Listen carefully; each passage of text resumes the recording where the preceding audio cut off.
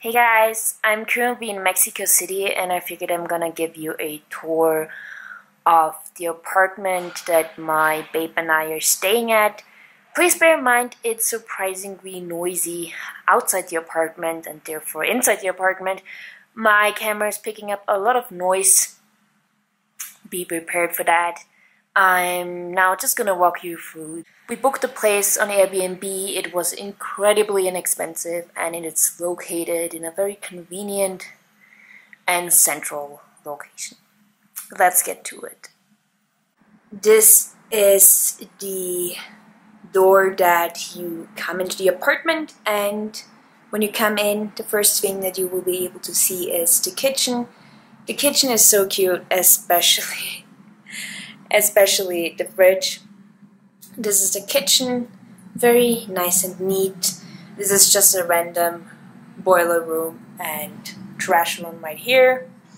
If you turn around, you'll see the living room, couch, my laptop, bananas. Oh, and this juice is amazing.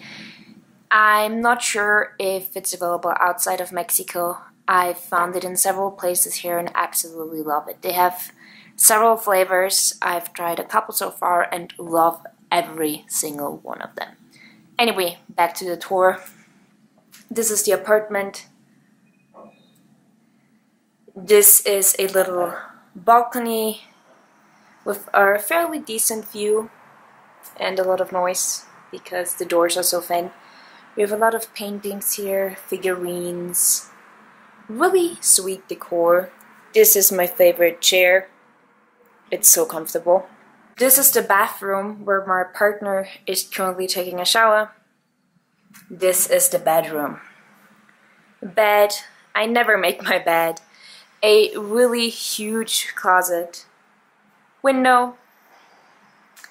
Little knickknacks. Shelving space.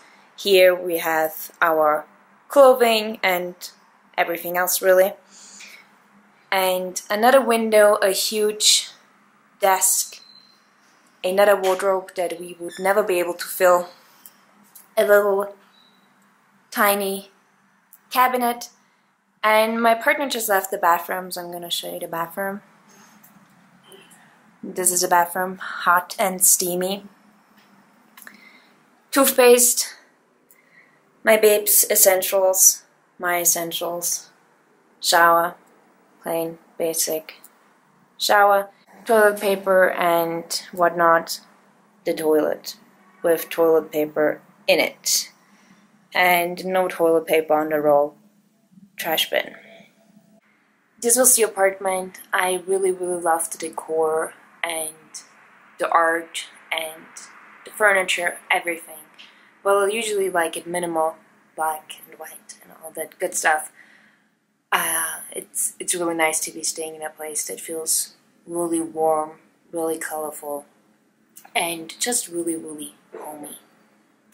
I hope you enjoy. Have a lovely day and see you guys next time.